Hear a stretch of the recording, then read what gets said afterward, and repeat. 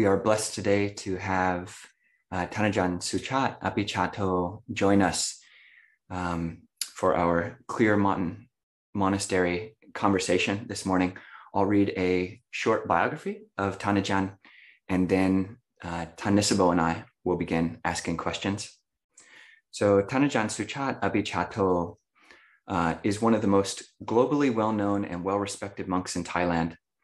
Born in 1947 in Suphanburi, Thailand, Praajan Suchart attended California State University, Fresno, where he studied civil engineering.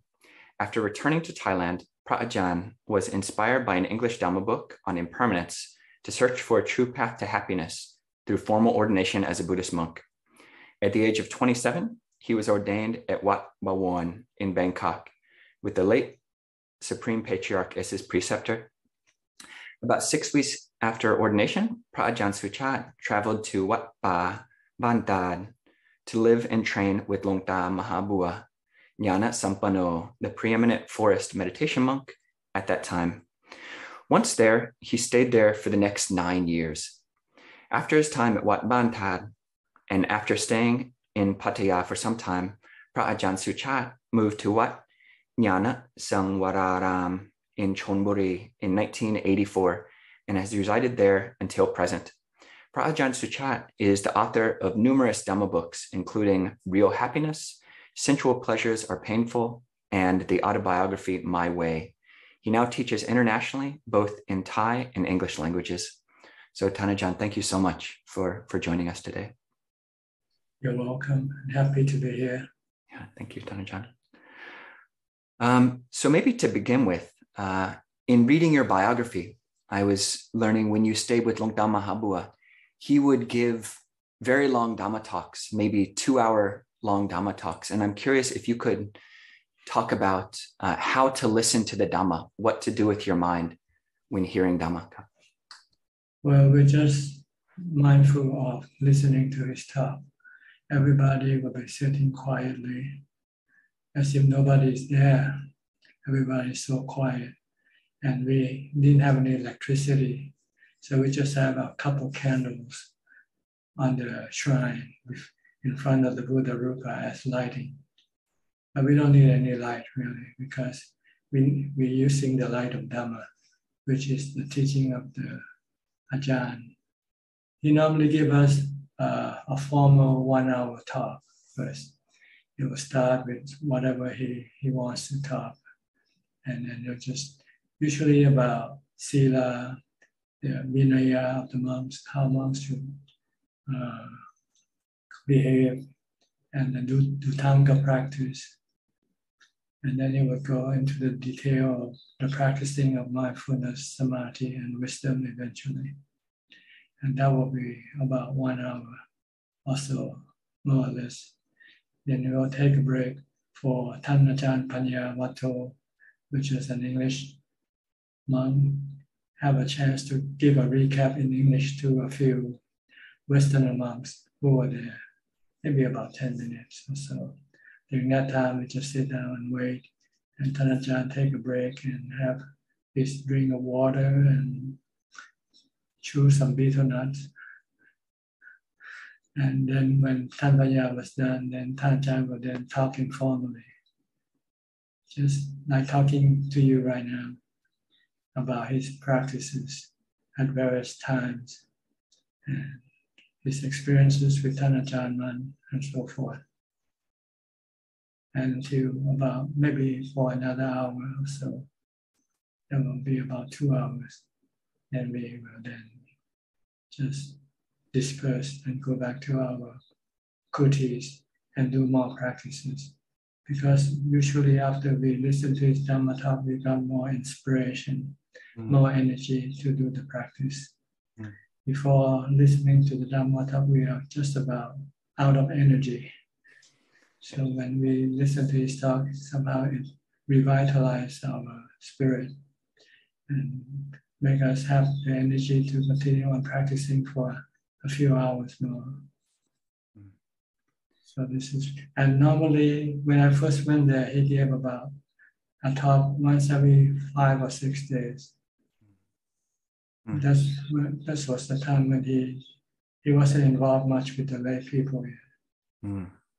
And his health was in in ship shape, so he could call a meeting. But he won't tell you in advance when the meeting's gonna be. Mm. So you have to be prepared. Usually comes in the dusk after sunset when it begins to get dark. Then he'll send a monk to to go and tell us we're gonna have a meeting. Mhm. And as soon as we heard the word, we have to run because we don't want him to wait for us. Mhm. And we- when we got there, we you know, just place the, the sitting mat and so forth, and then just sit and wait until everybody's there, Mhm. which doesn't take too long because everybody more or less was anticipating a talk. Mm. And so when we were all there, then Tancha would then start talking. Tanajam, when when you would listen to his talks, I, I had read that you practiced a lot of uh, Buddho mantra re- recitation, Buddho practice. When you would listen to his talks, would you recite your meditation, or would you try to really be like thinking about what he's he's saying? Or you have to think what, what he's saying, or at least pay attention to what he said. Not never use the mantra when you're listening to a Dhamma talk, Okay, because it will be interfering. okay, Because Dhamma talk is more precious than reciting Buddha at that time. wow, You can recite Buddha while you're alone. But when you're listening to Dhamma talk, you want to concentrate on listening to the Dhamma talk, wow. or else you won't understand what he was talking about.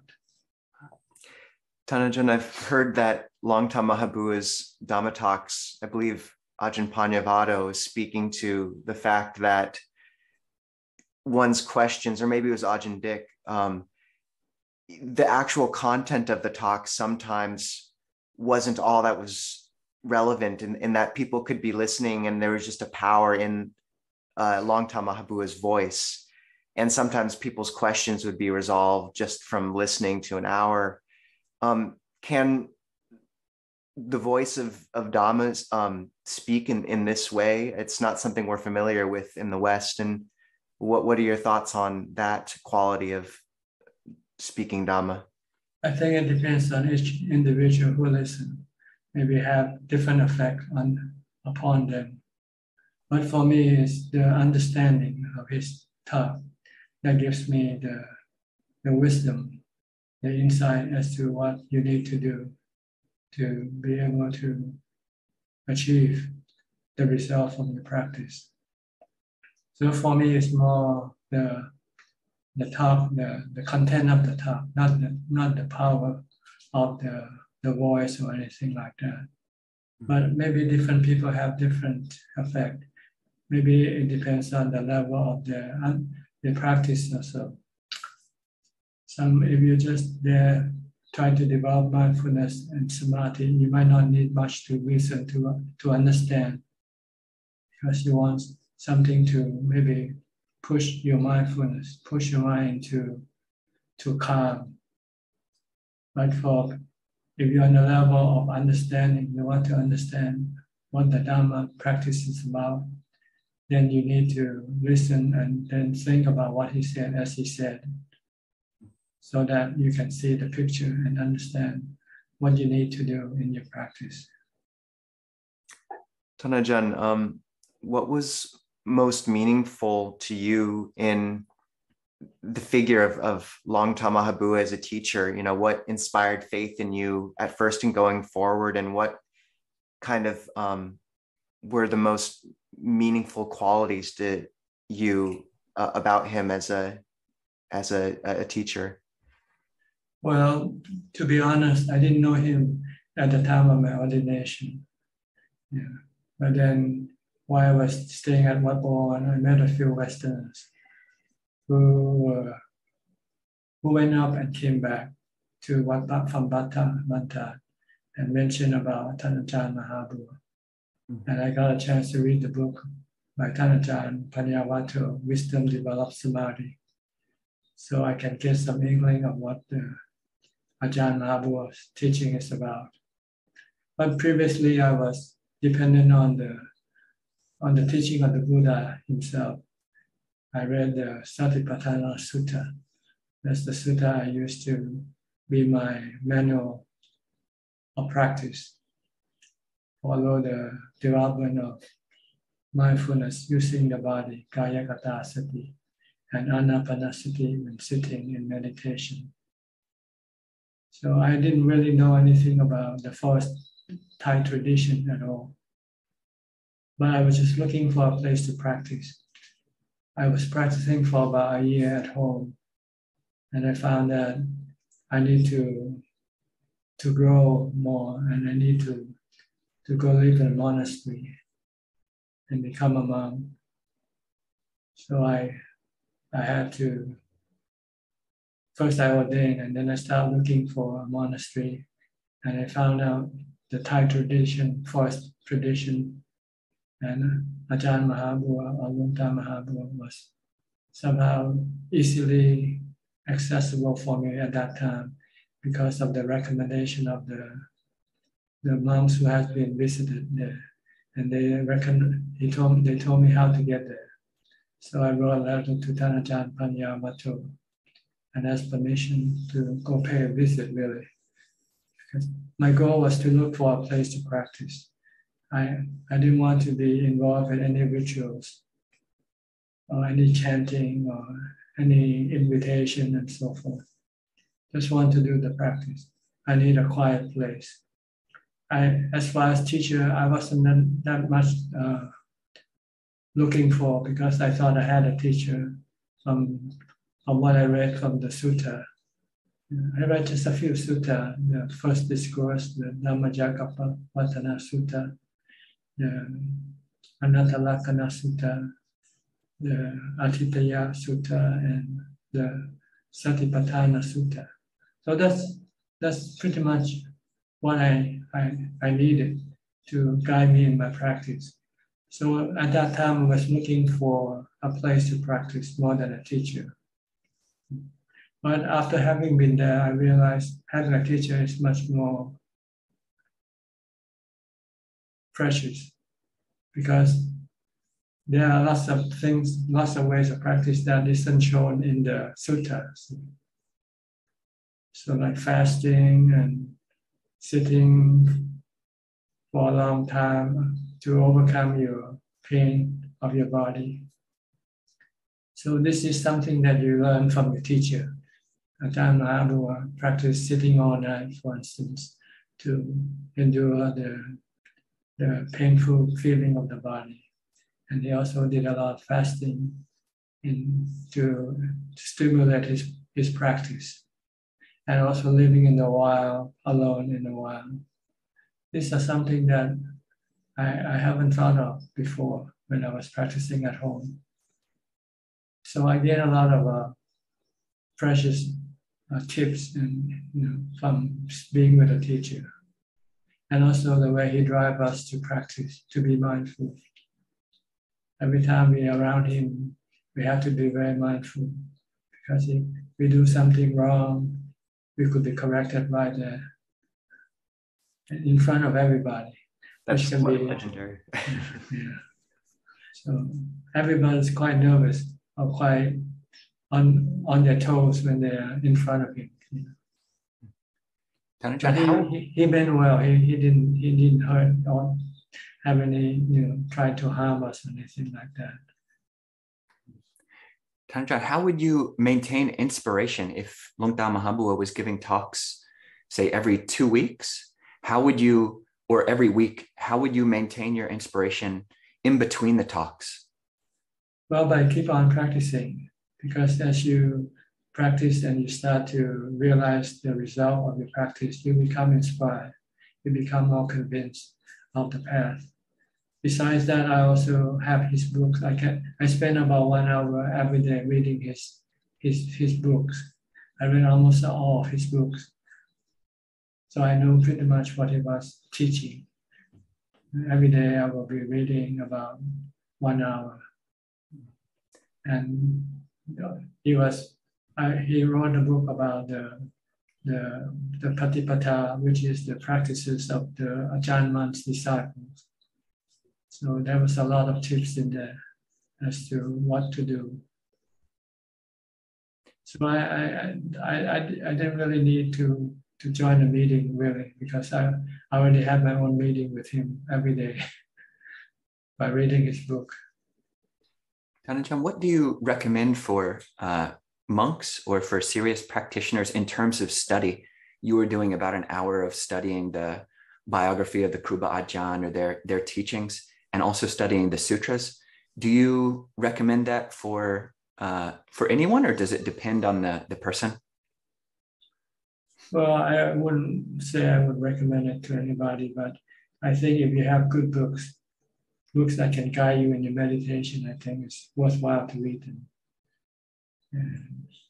So I was fortunate to run into Ajahn Mahabua, who in my mind, I think he, he knows everything about the practice and everything he said or wrote in the books are very precious for me. It helped me guide me in my practice, inspire me and keep me on, on track. Yeah. Because I was something already I was looking for is to concentrate all my effort on the practice of meditation. I don't want to get involved in any other extra extra spiritual work like construction or doing any other type of work.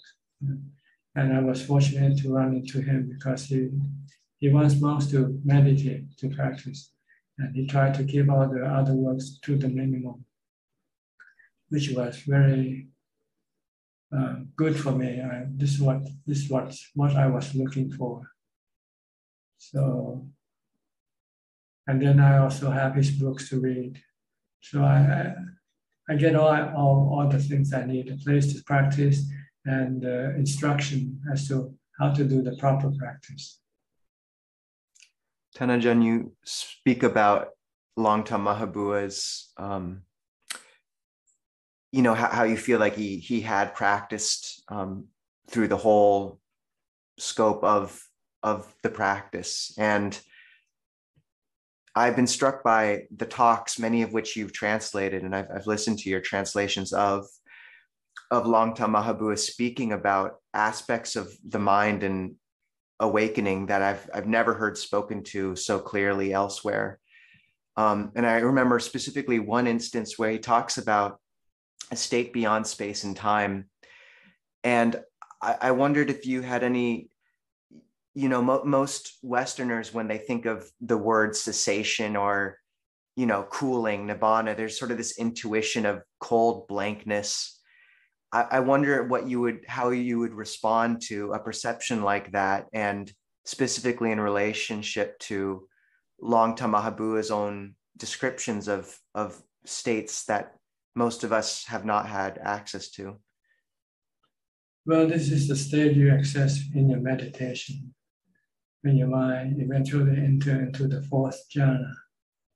That's when your, your thoughts stop functioning temporarily. And all that you have left is the emptiness of mental space, which comparable to the, the, the physical space when you're in space. When you, so you, when you die, you will be all alone. All that is left is you or the knower. Actually, there's no you anymore because the you was the was a mental fabrication. Once the mental fabrication stopped functioning, your thought, then the you disappear, and all you have left is just the knower, knowing the emptiness and uh, the state of equanimity within the mind itself.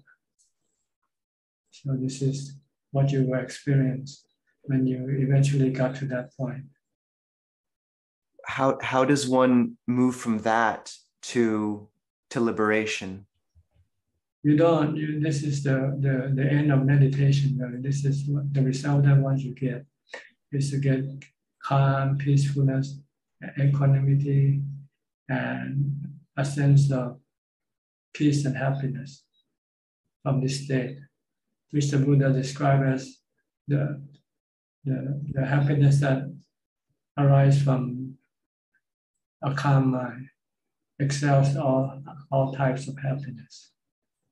Once you have this, then you have something to bargain with your, your defilements. your defilement wants to look for happiness, but it wants to look through the, sensual objects.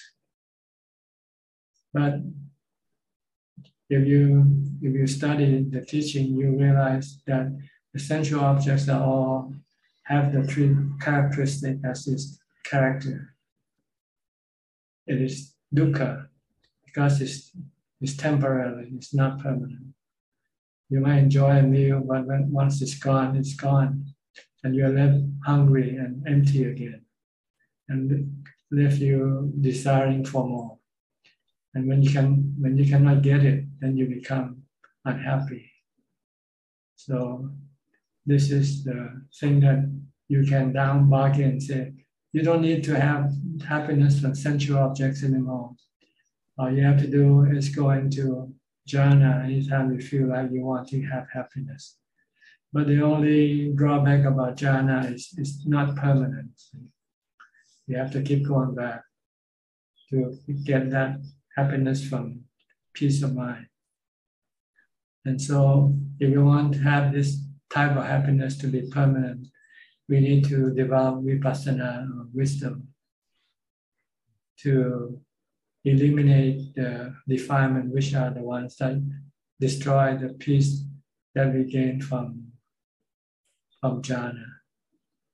Because when we come out of jhana, when we start to think, the defilement will start coming up again. And it will eventually drag us to go look for something to see or to hear, to drink or to smell or so forth, without even knowing it, you know, because we've been so used to looking for this type of happiness all the time. But once we have this happiness, the other type of happiness that we can experience from meditation, then we can then use the wisdom that Buddha uh, teaches us to develop is to see the three characteristics in the objects that your defilement wants to have, that it is gonna hurt you sooner or later. It's gonna give you dukkha because of their temporary nature their uncertain nature. They keep constantly changing. From good can be bad, right? Same thing that you get. At first you get it, it's good, but then a few days later it might break down, some or, or you might lose it. So this is the uh, nature of things that we want to teach the mind every time we desire or crave for them. And they are temporarily happiness because they are not, they keep changing and they are not under your control, right? Anatta, not under your control. You cannot say this thing gonna be like this all the time. It can change or it can disappear anytime without any warning.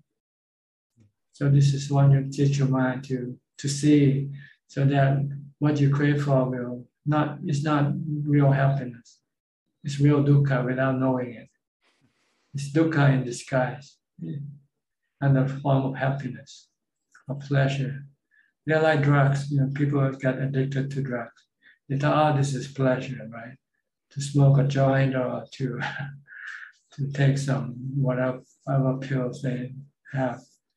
You're high, you're high for a few hours. And then after that, the effect of the drugs disappear. Then you're back down. Mm. And then you feel lonely and feel sad and feel the desire to need to go back up again. And so you can become addicted. And then anytime when you cannot get what you're addicted to, then you what you get, you get dukkha, suffering. So everything is like this. This is what you want to teach your mind. Tanajan, how would one know the difference between, say, a refined brightness like fourth jhana and the state of full awakening? Well, awakening is something when you when you come out of dukkha with wisdom. When you are like when you're sitting and your body becomes so painful and your mind becomes so miserable from the pain. But as you apply wisdom and see that the pain is uh, anicca, impermanent, anatta, something you cannot control or force it, so the only thing you can do is to to live with it, to leave it alone. See, when you see when your mind eventually let go of your attachment to the pain or the, your desire of wanting to get rid of the pain has subsided, then your mind become peaceful and happy. That's awakening. See? Dukkha disappear. You see the Four Noble Truths within yourself. See, dukkha arises from your cravings for the pain to disappear. But as you apply wisdom to see that the pain is beyond your control, all you can do is to leave it alone. Once you your mind be let, let go and leave the pain alone, then your mind has cessation, has nirodha. The, the dukkha that arises in the mind disappear. Not the not the dukkha in the body, not the pain in the body. The pain in the body can still remain there, but it doesn't affect the body, not the, doesn't affect the mind anymore. The mind can live, coexist with the pain of the body. That's what awakening is. You have to see the Four Noble Truths. In this sense, I'm giving you an, example of the painful feeling of your body.